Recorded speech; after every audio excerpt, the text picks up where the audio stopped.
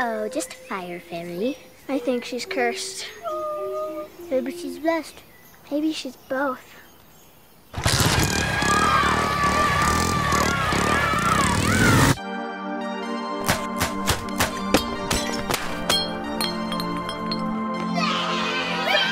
You three are going down once and for all.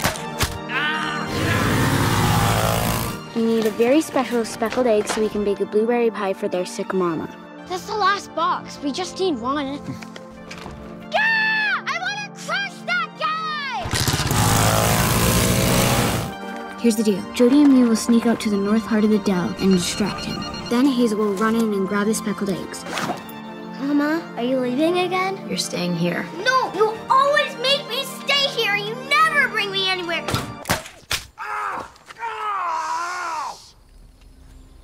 What the hell?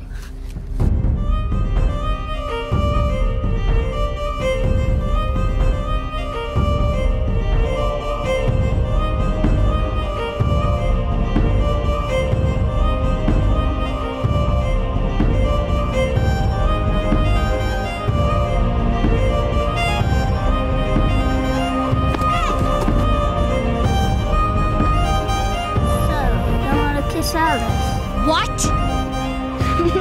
You're in a lot of trouble, Petal. Oh my god. Your life and your destiny, that is yours for the choosing, but you have to choose, and you have to create it. I'm gonna get you, kids!